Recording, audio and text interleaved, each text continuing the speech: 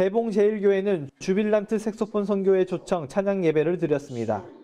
일부 예배에는 대봉제일교회 윤성권 목사가 설교를 전했고 주빌란트 색소폰 선교회가 무대에 올라 3부에 걸쳐 성가곡과 성탄캐롤 등 색소폰 합주를 선보였습니다.